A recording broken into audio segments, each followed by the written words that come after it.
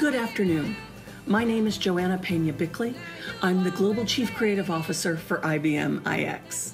Please join me in a journey back to the 18th century, to a world awakening from a medieval slumber. Imagine the scene at the dawn of a new age where ideas and creativity were being exchanged with an emphasis on creative thinking and the individual. The Enlightenment, also known as the Age of Reason, was a powerful movement of new thought and philosophies that countered the tyranny of aristocracy and the monarchy. It dismantled the power of the church and exposed the unequal distribution of wealth that laid the foundation for the middle class to emerge. The Enlightenment ignited liberty, innovation, and social reform. Powered by free thought, it led Europe and America towards the first industrial revolution.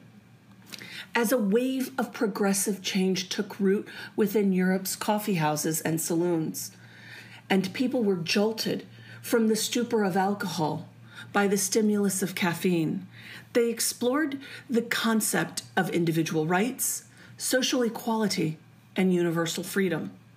Boy, does that sound familiar.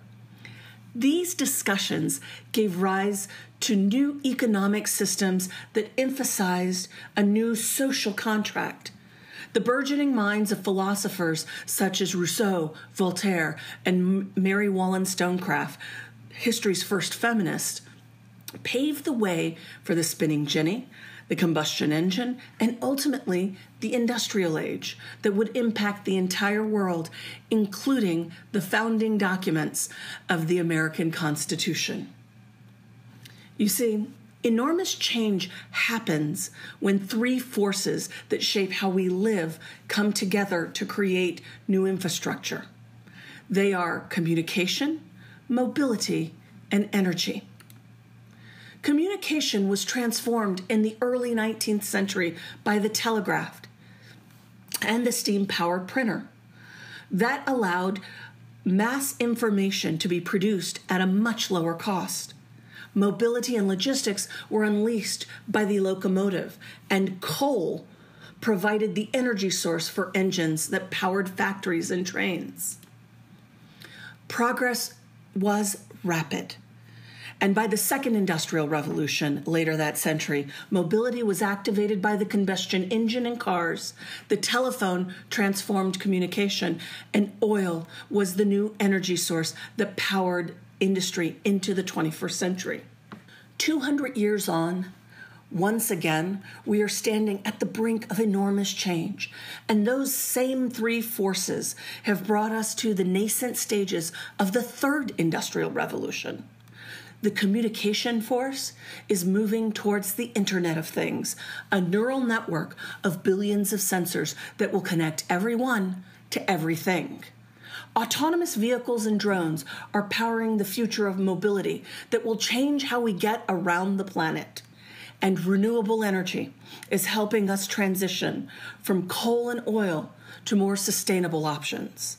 Incredible opportunities like this only come around once in a century.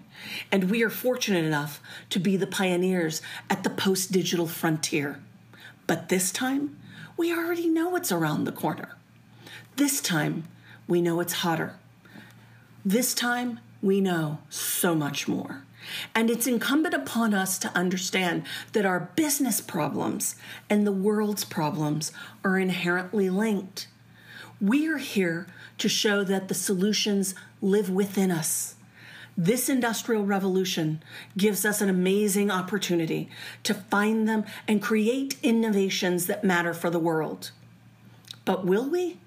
Here's the rub we have a choice. We can stand back and be distracted and watch opportunity pass us by. Or we can realize that the moment is now and get down to the business of designing a different kind of future.